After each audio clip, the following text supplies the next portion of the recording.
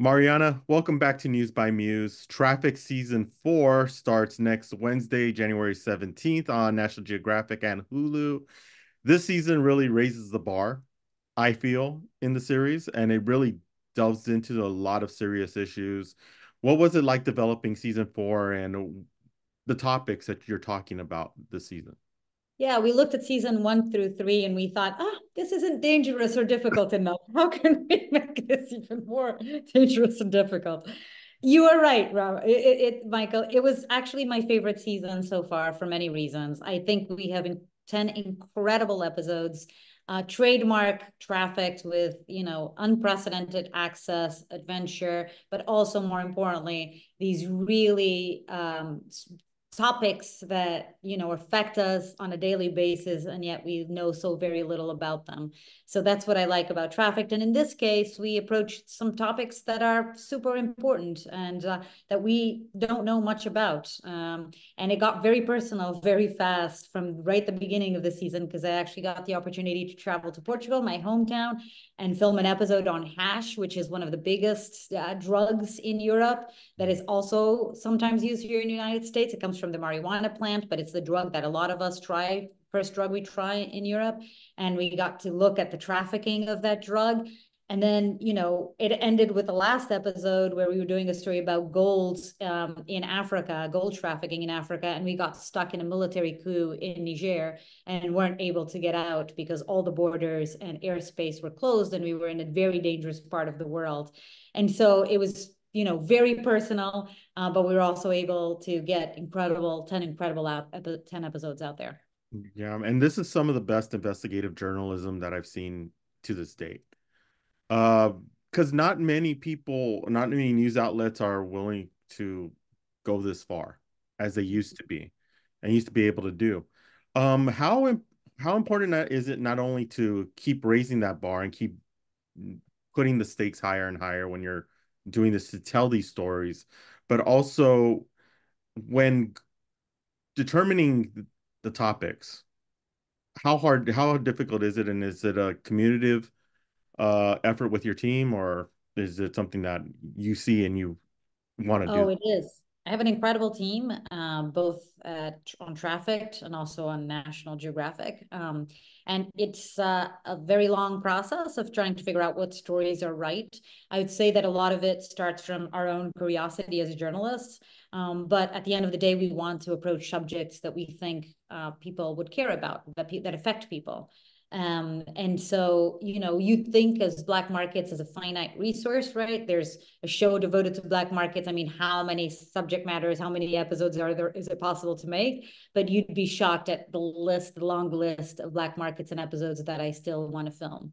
Uh, mm-hmm. but I think what's incredible about this season in particular is, is that we approach subject matters that either people didn't know existed, such as the trafficking of body parts. We think as Americans um, that once we die, and I think a lot of people around the world would agree, that once we die, we know we have a say on what happens to our bodies, but in fact, that is just not the case.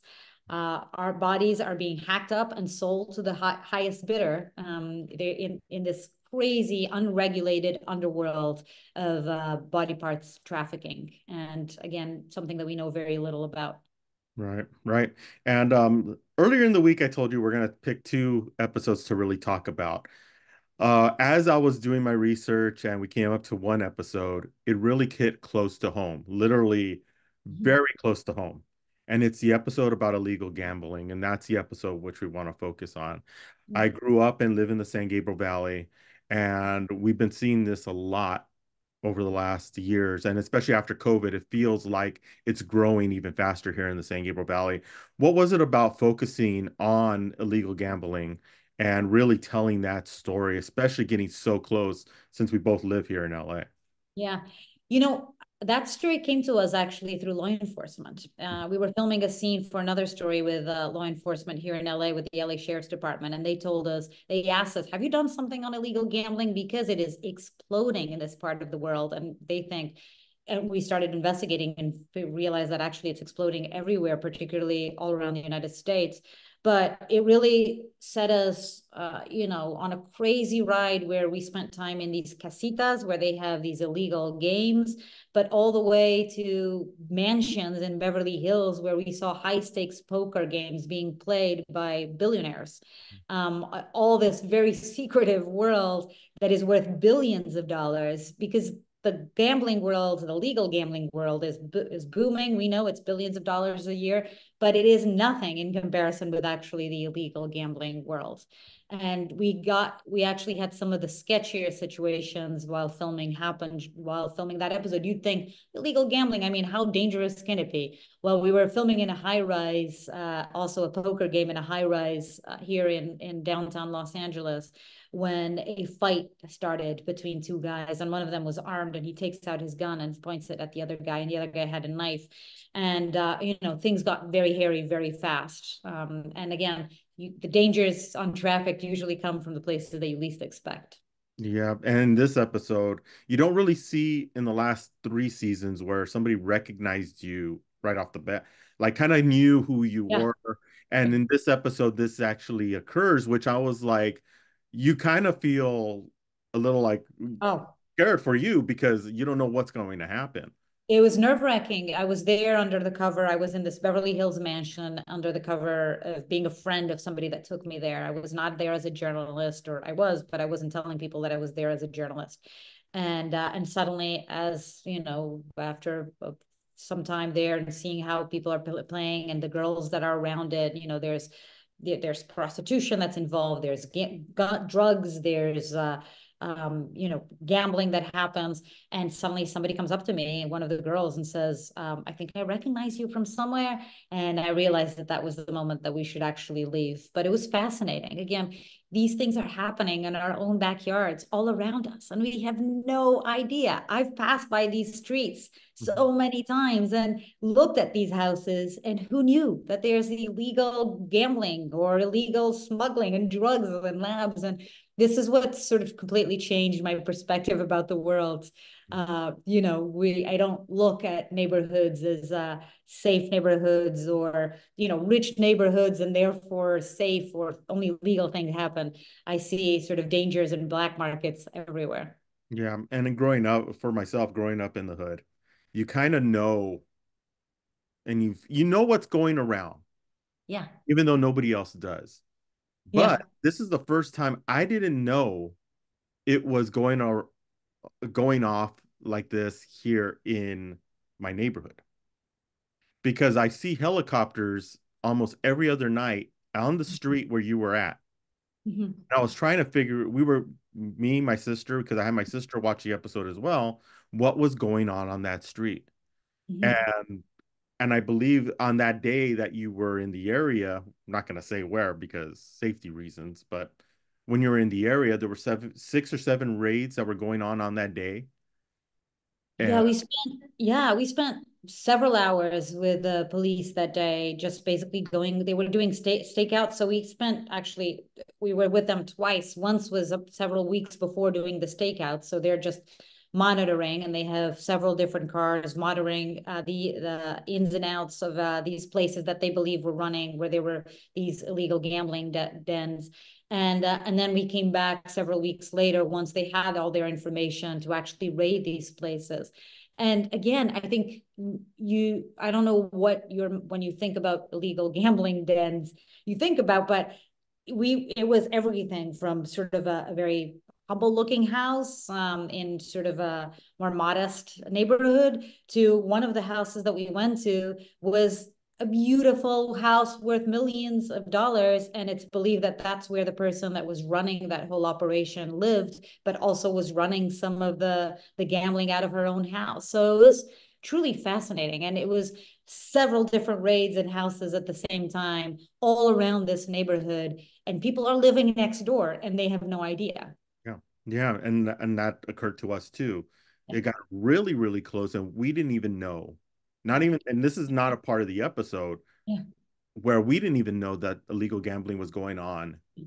literally feet away from where we were uh, at. So yeah, that and, and I would just And I would just add, Michael, that the problem is that you think, oh, it's illegal gambling, it's completely harmless. But with illegal gambling also comes drugs, violence, prostitution many times. So it's it's actually something that people should absolutely be aware of. Yeah, and this is something that I love that you talked about in this episode, the correlation between legal and illegal gambling and how that uh, touches the point. What was some of those things where between because I think when people think about legal gambling, they think, oh, there's no harm done, nothing, it doesn't lead to anything else. But it actually does, especially since this is uh, gambling is such an addiction in this country. Can you please uh, elaborate on that? It is. It's a huge addiction and it's a forgotten addiction. Um, I think that people don't realize there are not enough resources put out there. But now you turn on your TV or your your telephones and there's gambling everywhere and it's being sanctioned and it's you have these companies buying all these gambling platforms. And I think there's a sense that it's, again, it's harmless, makes a lot of money whenever there's money to be made. People like it and embrace it. But we spoke to, you know, one of the things that we wanted to do, always we do usually with trafficked, is we want to see how this harms people and the negative side of all of this. Um, so we ended up actually talking to a lot of uh, uh gambling addicts, and uh, and it's it's very sad. I mean, nowadays they they can't turn anywhere where there isn't gambling. And we actually spoke to a lot of people in that were do working and and profiting, but also playing and gambling in these uh, gambling underworlds. And it's fascinating to see that they say, you know, in many ways even if I wanted, because back in the day, if you feel like you're spending too much money, either a casino can stop you from going, although they usually don't because they want your money, or you can stop yourself from going. You can black black um, uh, what is it called black uh, list yourself in these casinos and not go. But nowadays, you know, you can just, you know, step into a high rise or go into a little casita next door and there's gambling out there. So even the people that we met in these gambling underworlds will tell us that this has been really bad for their own addictions. Yeah. And uh, to, to close off for this, uh, to talk about this episode, um, we see a correlation. There's a lot of legal legislation, especially in California. They had uh, put on the ballot last year about online gambling and, it failed, but does it really stop anything in your eyes after seeing all this with all either the legalizing of gambling or even uh, not allowing certain types of gambling within a state? Do you really feel like it's just it's just things that they want to show the public, but in reality, the illegal gambling is thriving and growing, and it's not going to stop anything. Sometimes when you look at it. Yeah, I think it's a complicated um, issue because you know whenever there's money to be made uh, there tends to be an em- embracing of it and uh, less resources i think that as long as resources are put to the addiction side of it and making sure that there's you know people paying attention to that part side of it but also to the violence and to the drugs and to the you know weapons and prostitution and everything that comes in with the gambling mm-hmm. um, right now i think one of the re- questions i had i had for many people is like why are you coming and playing uh, and gambling here in this illegal den when you can literally go you know drive 10 minutes and gamble or even pick up your phone and gamble legally online? And what we got a lot of people telling us is because uh, you know first of all you don't pay tax right? You're you're you're whatever you see cash in hand. Um you're they like the idea that they don't have to go to a formal place. They can do it informally. Um and nobody needs to find out about it. Your wife maybe doesn't need your husband doesn't need to find out that you're you're gambling.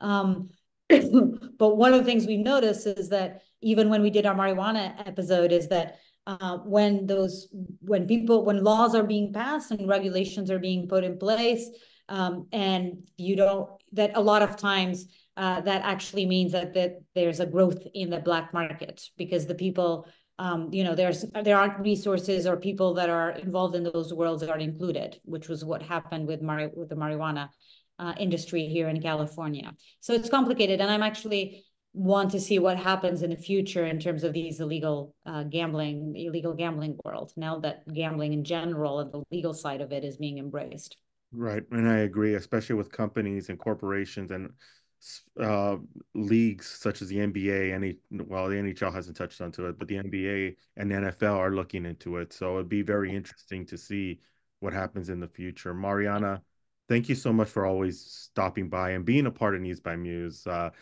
you've become a great friend to to us here, and we always enjoy talking with you. We could have easily gone an hour just on these topics, uh, but um, we wanted to choose one just to make sure we focus on something that's going to hit close to home. And uh, we're looking forward to season five. I know you're working on that now, so uh, we can hardly wait. But also, uh, thank you so much again for stopping. Oh, thank you, Michael. I always love talking to you. Thanks so much. And Trafficked uh, season four begins January 17th on National Geographic on and Hulu. You don't want to miss this season. It's going to be something worth watching.